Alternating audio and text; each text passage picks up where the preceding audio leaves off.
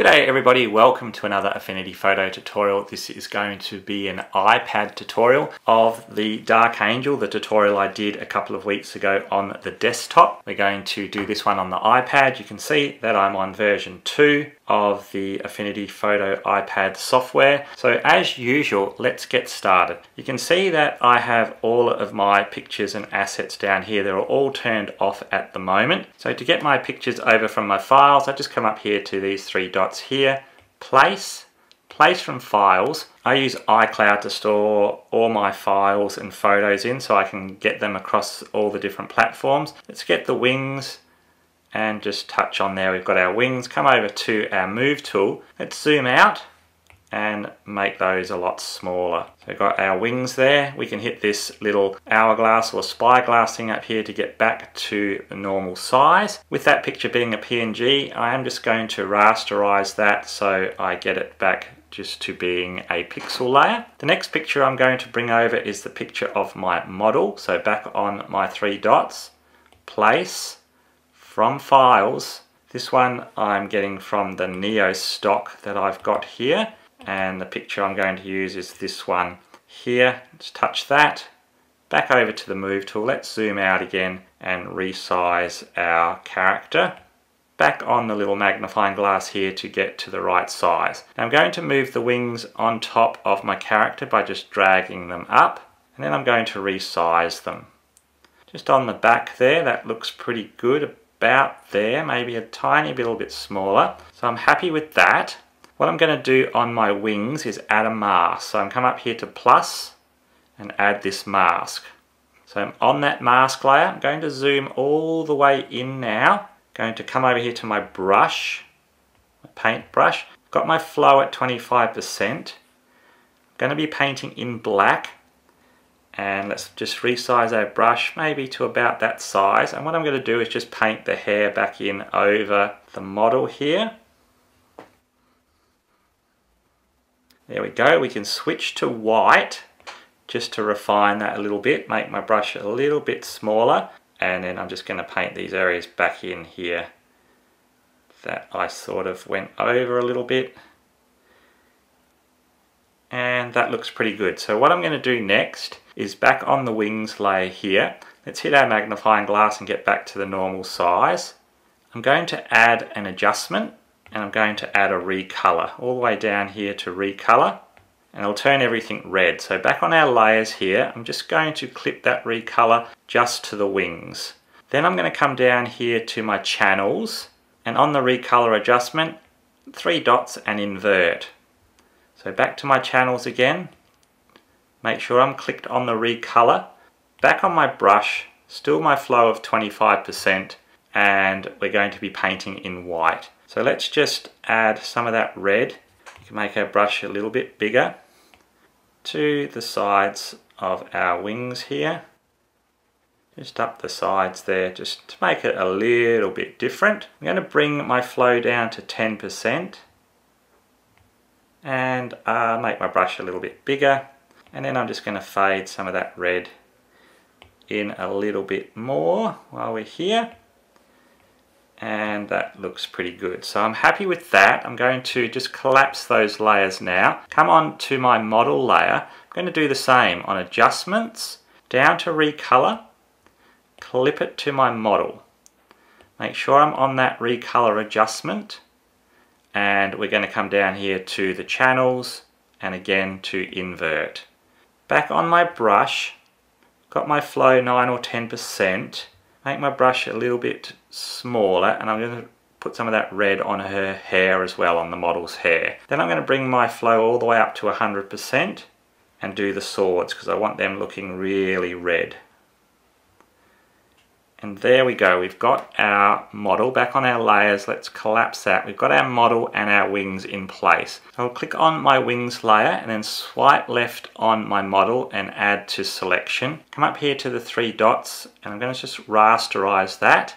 And then up here to the three dots again and merge selected. So I've just got one layer, just that model layer all done with those adjustments that I've made. I'm going to bring that layer all the way down here just above my stone wall for now and I'm going to turn my model off. Let's zoom out a little bit And now we're going to activate all of our layers and start to put our composite together. So I'm going to turn on the grass layer here. The only thing I'm going to do with that, make sure it's highlighted. And I'm going to come down here to my filters, make sure that my live filters are turned on and come all the way down to mesh warp just all the way down till we see mesh warp here. And all I'm going to do on this one, I just want to put a little bit of a bend in the middle there, just make it look a little bit better. So click on my move tool. So that's the grass in place, that's all good. And I'm just going to turn on the rest now, the tree on the left, the branches that I'm going to use, the tree on the right, and the branches and we'll turn on the rocks and we'll come down here to our stone wall. We're starting to get our composite in place. We'll add our city as well in the background and our city sky. We've also got some stars here that I'm going to turn on and those stars I'm going to come up here to these three dots here and change the blend mode to screen the other way we can do that, I'll show you another way you can get to the blend mode in a sec, but those stars are going to turn the opacity down to about 50%. We're going to put our moon on as well, turn on the moon. We've got this picture of the moon here. And as I said before, make sure we are clicked on the moon layer, swipe left and blend modes, and we can click on screen. There we go, that's a little bit better. Back to our layers. We can now, on all of these, what I want to do on each of these layers, the grass, the tree branches, is add an exposure to all of these layers and darken everything down a bit. So we'll start on the grass with an adjustment and we'll come all the way up the top and we'll come down to exposure and we'll drag that exposure onto the grass, open it up and let's just darken that grass down quite a bit. Okay, so we've got that nice and dark. So I'm just going to duplicate this exposure layer now and add it to all my other layers. So over here to my two dots, duplicate, and let's drag one down to the tree left. So to see the tree's gone darker. Back up again, duplicate, drag one down to my branches, again and we're just going to do that for every layer that I want to put that exposure on.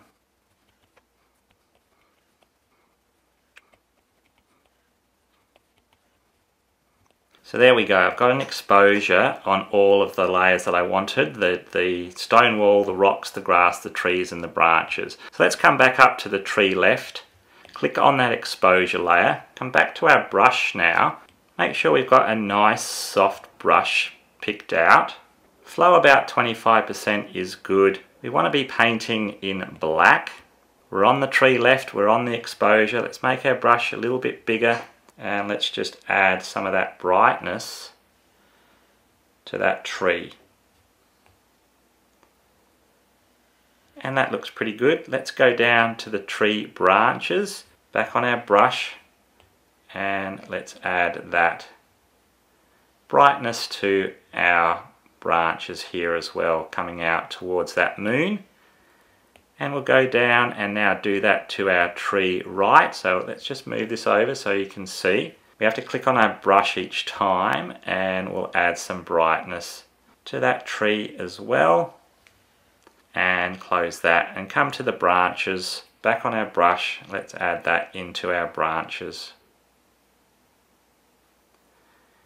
There we go. That looks pretty good Okay, with the rocks, I think I'm going to leave them as they are. Come down here to the stone wall on the exposure there, back on my brush again, and this time I'm going to come down here to this little circle here, turn it on, click on it and click on shift because I'm going to click on the wall here, hold one finger down and come all the way across to the other wall and click once and I see you can see I've got my um, brightness along the top of that wall as well. So now we can just turn that off and we've got all our exposure layers in place. Let's bring in our model now. So let's turn on our model. Come over here to our move tool. Make sure we're on our model. Let's make her a bit smaller and place her where we want the model on the stone wall. I think about there looks pretty good. I'm going to make a copy duplicate and that copy I'm going to bring all the way up the top and I'm going to put on a FX, a layer effects and come down here to color overlay. So it goes black. And then I'm going to drag this, make sure I'm on my move tool, drag this all the way down. Let's go a little bit smaller and drag that out a little bit and move it up a bit, just under her feet there. That's not too bad. Maybe we need to just go over a tiny bit about there. Okay, that looks pretty good. What we'll do now is on that shadow layer, we'll come down here to our filters. Our live filters are still on and we'll come to Gaussian blur. Make sure we're clicked on that Gaussian blur layer and let's just up the radius a little bit. Let's just blur that a little bit. And then clicking on just the model layer, let's collapse that. And then on these three dots, let's bring down that opacity to about 50% at this stage. That's not looking too bad. We've got our shadow in place. What we'll do with our wall, remember we did the, the um, exposure on the wall. What I'm going to do is just grab my brush and paint in white and I'm just going to darken that just under her feet there a little bit. That looks pretty good. Okay, happy with that. Okay, starting to look pretty good. With our model here as well, we will add an exposure back up to where our exposure is. And we'll add that to our model as well. And we'll just darken our model down a little bit. And we're going to do the same. On our brush, painting in black, 25% is okay. Make our brush a little bit bigger and let's add some of that lightness to our model. And while we've got our model here, let's just click on our model, come up here to our plus and add a new pixel layer right on top. Come over to our fill tool now, our fill tool here, make sure on black and let's just fill that with black. Now let's just offer that to our model, just so our model is gone all black here on that pixel layer. And let's change the blend mode on that pixel layer to add. Now on that layer, that pixel layer, come back to my brush, back to my colors, and I'm going to pick the color of the moon here, sort of this mustardy, browny color. And then on that pixel layer, brush is still okay at 25%, brush a little bit bigger. Let's zoom in, and I'm just going to add some of that color to my model. If you think we've done too much, we can come over to our erase brush tool, make that smaller, and we can just get rid of a little bit of it there. So that's not too bad, so I'm happy with that. Let's collapse that. Let's bring in our crow now. So we've got our crow here on our move tool. Make sure we're on our crow. Let's bring our crow over, sitting on the wall. Let's duplicate that same as what we did with the model, all the way up to the top. And let's flip that the other way. So let's just pull that down. Again, let's put a Gaussian blur. Make sure we're on that Gaussian blur and bring up the radius a little bit. About there looks pretty good. And then on that, we'll bring that down to about 50% as well. And while we're on our crow, let's go back down on this crow here. Let's add that recolor as well. Get some red on our crow, recolor. Clip that to our crow. Make sure we're on that red color. Come over to our channels and invert it. So we're going to be painting on that recolor. Let's grab our paintbrush. Let's zoom in. Let's make sure we're painting on white for this one. So we still got 25% brush. Let's bring the brush up and let's just add some of that red color to our crow's feathers as well and his eye there. That's not looking too bad. Zoom out or hit the magnifying glass there to zoom out. Let's add a few more things now from our layers that we've got here. Collapse that Let's add our blood on the wall here. This is just a picture of blood. Let's click on that and let's swipe left, blend modes, and this one, let's go down to multiply. Put that blood on the, on the stone wall there, just under the sword. The other one I'll turn on is this picture of the drips. I'll make it a bit bigger so you can see it because I'm going to add a recolor to that as well and clip it to those drips. So they go red as well. Back on the drips, I'm going to come up here to my move tool and turn that all the way around, make it smaller. Let's zoom in. This is a very small detail. Let's just add it to the end of the sword there. There we go. Very, as I said, a very small detail. And that is all of our assets in place now. So pretty happy with that. Let's just go a little bit further on this one. Right on top, let's come up to adjustments and let's add a black and white filter and turn it down, the opacity all the way down to about 20%.